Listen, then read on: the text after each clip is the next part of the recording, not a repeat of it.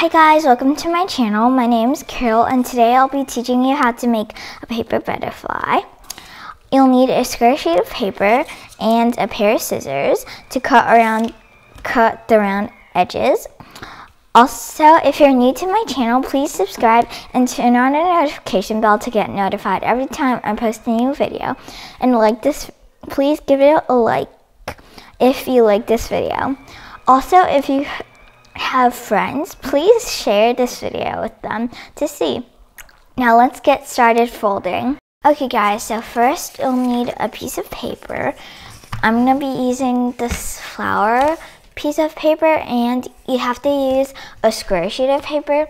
But if you have a rectangle sheet of paper, um, I'll I think you guys all know how to turn a rectangle sheet of paper into a square, but in case you didn't, oh, this is white on white. But you basically fold one corner up and create a crease that's exactly like that. And then you turn it backwards. I'm not sure, really sure if you guys can see this very well, but do that. And then rip it.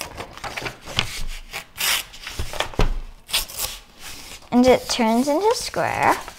But we're gonna not use that paper and use this paper today. And don't worry, I'll make that paper into something later. So you'll turn to the side. You don't want your butterfly's color to be like mine is the orange because I want my butterfly to be have flowers on it. So turn to that side and fold the bottom right corner to the top left corner into a triangle and open it. Then fold the bottom left corner to the top right corner. Fold it and open it again. Now turn to the flower side and take the bottom corners and fold it to the top corners and open it. Turn it around and fold the bottom two corners to the top two corners. So now you basically kind of have like a snowflake crease. So you want to press the two sides where there's a crease in and do that to make a triangle that has four flaps. And now is the cutting part. You'll take out your scissors.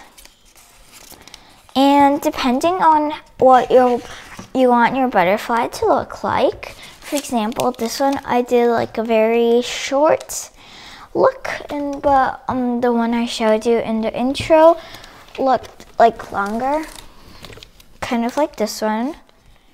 This one's more like flat.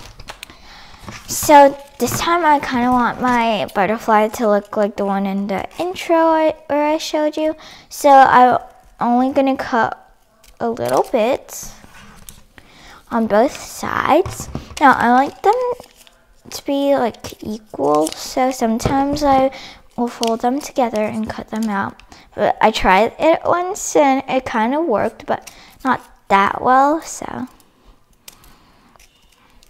cut that, throw in the garbage or the recycling, and now you have this. Then you have two flaps on the right, two flaps on the left. Check if you do have that and fold one flap on the right to the middle, like that. And one flap on the left to the middle also, but this time not normally you would, if normally origami, you would fold like the other sides too. But no, or not maybe normally, but turn to the other side. Take the top corner and fold it to bond bottom. Not exactly on the bottom, like a little lower than the bottom. And now you have this Now turn it around like this and you almost have a butterfly but there's a spike poking out. So you want to open the butterfly and put the spike in. And here's your butterfly. If you like this video, please consider giving it a like and also subscribe to my channel if you think you'll like my channel. Bye!